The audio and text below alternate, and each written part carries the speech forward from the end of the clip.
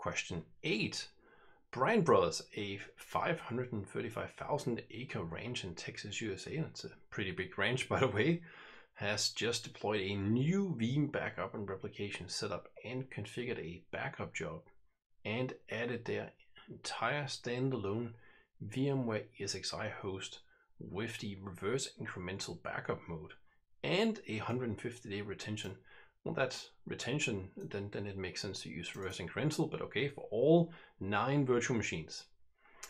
Okay, backup job is targeting a Linux-based repository on an XFS formatted drive. Okay, job has completed successfully for 30 days.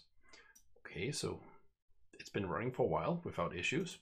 Ranch owner discovers the cattle reporting application virtual machine was accidentally deleted three weeks ago and requested to be restored from the backups. A consultant is unable to re recover the virtual machine here. Restore the virtual machine, well that, that's bad. So what kind of problem are we facing here? Okay, let's see here. Backup of the virtual machine was deleted automatically due to Veeam maintenance settings.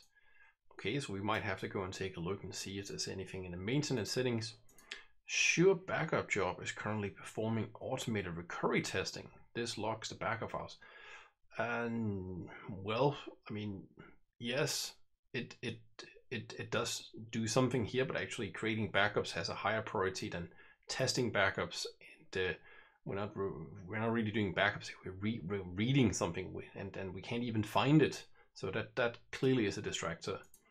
The backup job is still running due to the Veeam Snapshot Hunter currently consolidating. So while there is something uh, called a Veeam Snapshot Hunter and it could be consolidating a snapshot, uh, it, it first of all would not keep the backup job running. This is a process that gets spawned on the side. And secondly, this would not lock the backup files. Okay, so this is also a distractor. Veeam Backup Replication Console has been launched remotely Full VM restores from Linux-based repositories can, for security reasons, only be performed. Uh, no, this is uh, completely uh, garbage uh, at, at, all. Like there's there's no such limitations at all. Latest run of the backup job was interrupted due to a Linux kernel upgrade.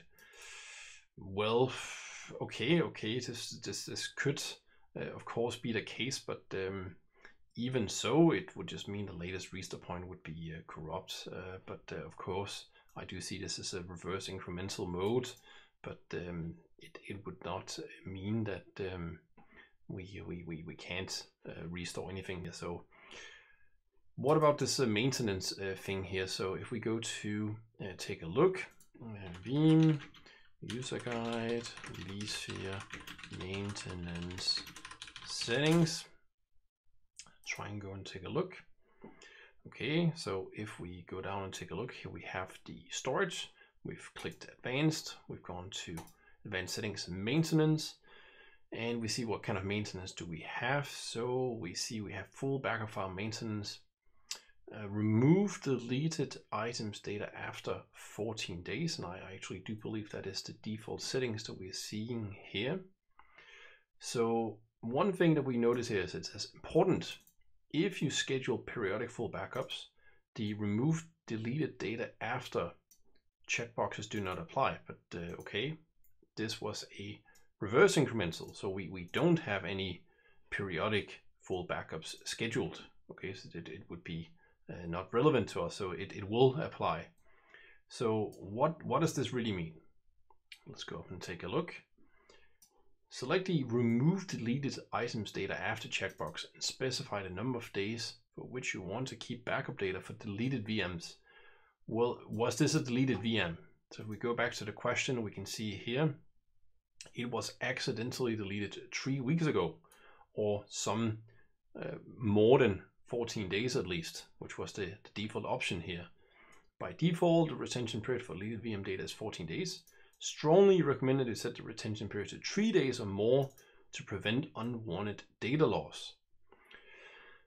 So the problem here, uh, not to put the blame on anyone, uh, the, the issue here is that uh, first of all, this, this checkbox is uh, set.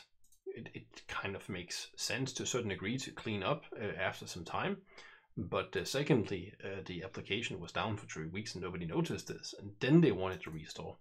So in the summary here, backup virtual machine was deleted automatically because of the maintenance settings like what we have right here.